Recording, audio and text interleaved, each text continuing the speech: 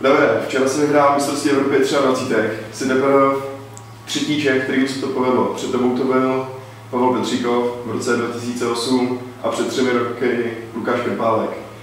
Uh, jak je to jak být mistr Evropy?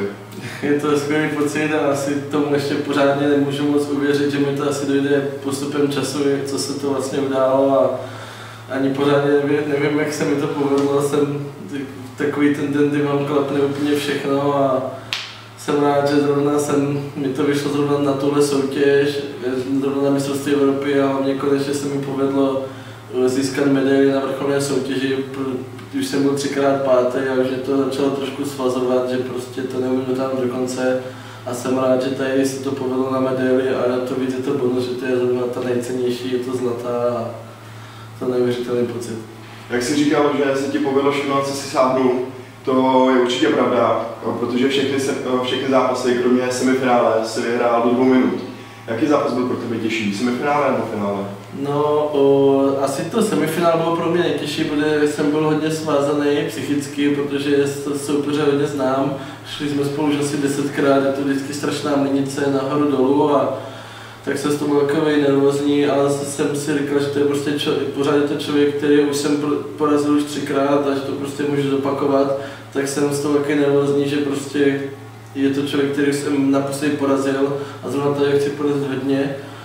A bohužel jsem prohrál, jestli chtěl, měl jsem si podat jednu, dvě techniky a bohužel na to jednu mě tam hodil na Vazary, tak jsem si říkal, že to není zrovna moc hodný a naštěstí se mi podařilo hodit na jednu Vazary a jeden trest jsem vyhrál.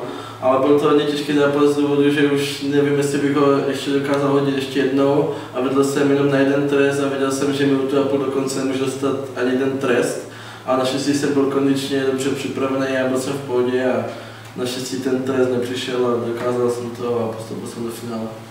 Další otázka se k tomu trošičku váže.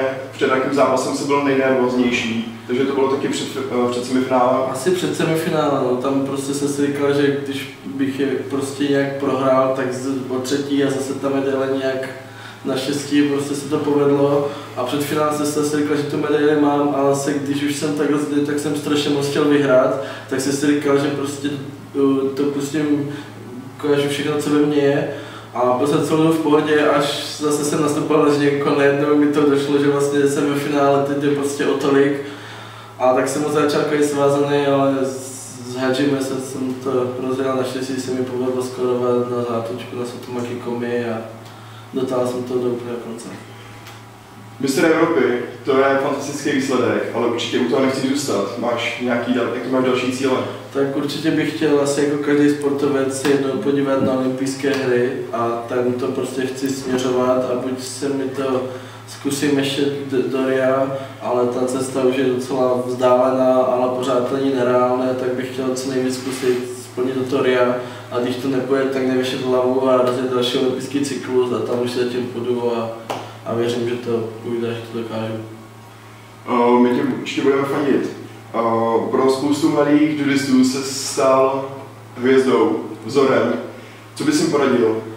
Uh, aby trénovali a když se jim nedaří, aby prostě pořád nepřestávali, že judo je prostě výborná společnost, výborný sport do budoucna, do života a prostě když do toho dávat všechno a budou se držet co neděl s tou partou lidí, který vás prostě usměrní a všechno, tak hlavně, aby prostě nepřestali dělat judo, že se to vždycky vrátí a buď prostě v té sportovní stránce, anebo prostě v životě, ale všechno, co člověk dělá na maximum, se prostě někde projeví a aby to judo prostě dělali co nejvíc můžou a co jim to dovolí a je to výborný sport, aby to rozvíjeli dál.